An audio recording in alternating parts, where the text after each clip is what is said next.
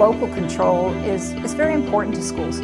We know our kids. Kids are different across the United States, and in some, place, some ways we do need to do things the same. But in many cases we don't, and we know what's best for our own schools.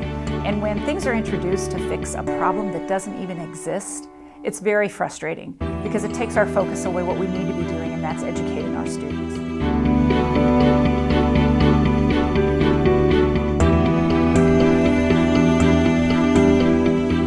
I'm voting no for this amendment.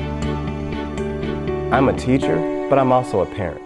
And my students and my children are not numbers. My child, all of my children, my students and my children, are more than a test score. I want every teacher to know that.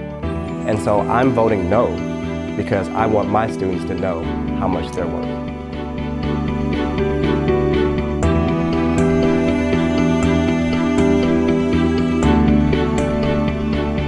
I would love for a legislator to come to my classroom and observe for a week or longer and, and get a true taste of what it's like in my classroom, to, to be in the trenches, so to speak.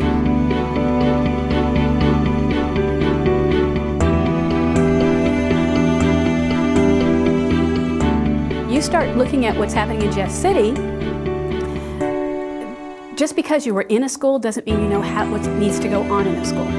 Um, the politicians controlling what we're doing, they have enough trouble working with what they're doing at their own place.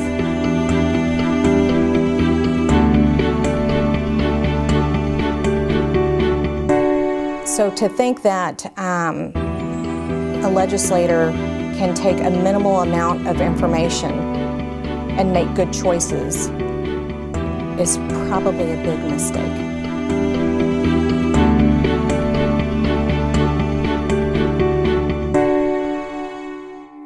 If I were talking to my neighbor telling them why to oppose this legislation or why I'm opposing this legislation, I'd tell them that this legislation is coming from people who've never spent a minute in a classroom with students, with your child, and they really don't understand the uniqueness and the abilities that your kid has. And forcing us to give more standardized tests is going to take away from your child's learning experience. It's going to stress them out and take away money from all of the potential learning that they could have and could do.